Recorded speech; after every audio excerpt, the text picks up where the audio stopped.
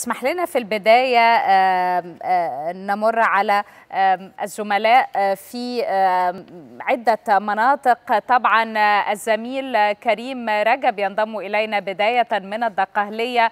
نتعرف على الأجواء هناك. مساء الخير يا كريم.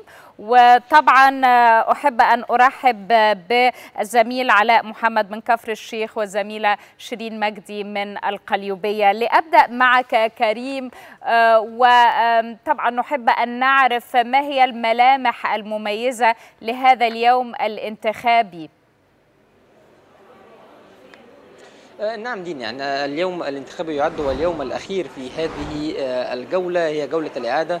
ومحافظة الدقهلية بتشهد سخونة في المنافسة نظرا لأن جميع المقاعد البرلمانية المخصصة في النظام الفردي يتم الإعادة والتنافس عليها في جولة الإعادة. وهي عدد المقاعد هنا يبلغ نحو 21 مقعدا يتم التنافس عليها من خلال 22 مرشحا منهم نحو 17 مرشحا حزبيا و25 مرشح من المستقلين. وبالتالي هذا الأمر يزيد من سخونة المنافسة. هنا نظرا لأن تعتبر جميع الحظوظ متساوية والفرص متساوية بالنسبة لجميع المرشحين خاصة أن فارق الأصوات في الجولة الأولى لم يكن كبير بين المرشحين في هذه الجولة. أيضا جميع المرشحين لجأوا إلى التحالفات والبعض لجأ للقواعد الحزبية وحتى يتم الوصول إلى الناخبين في الأماكن المختلفة. ومن ثم ضمان الحصول على مزيد من الأصوات التي ترجح كفة كل مرشح في الحصول على المقعد البرلماني. وبالتالي هذا الأمر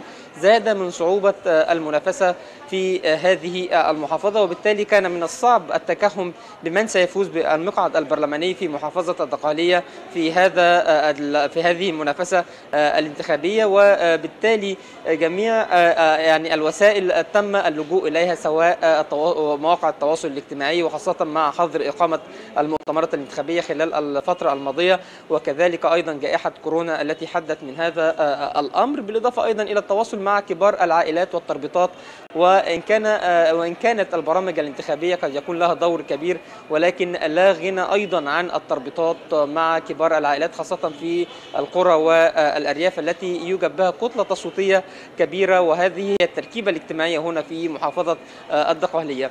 إذا نحن في انتظار اللحظات الأخيرة لهذا اليوم والتي شهدت إقبال كثيف من جانب الناخبين خاصة أن جميع الناخبين يفضل يعني معظم الناخبين يفضلون التصويت في هذه اللحظات وعادة ما شهدنا يعني شاهدنا اللحظات الأخيرة أو الساعات الأخيرة من جولة الإعادة. تشهد زخم كبير في حضور الناخبين من مختلف الفئات سواء من الكبار أو الشباب وكذلك السيدات والرجال. فجميع الفئات رأيناها خلال هذا اليوم وخلال هذه اللحظات تحديدا التي شهدت إقبال كثيف عما كانت ذي قبل سواء في في يوم أمس أو حتى في النصف الأول من هذا اليوم.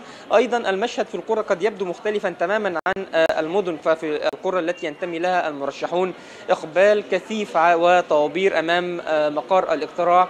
ف يعني الكل يسعى لترجيح كفة مرشح التي الذي ينتمي إلى موطنه وبالتالي نزل الناخبون في هذه اللحظات من أجل ترجيح كفة مرشحهم كفة مرشحهم في هذه الجولة. إليك دينا. شكرا لك يا كريم.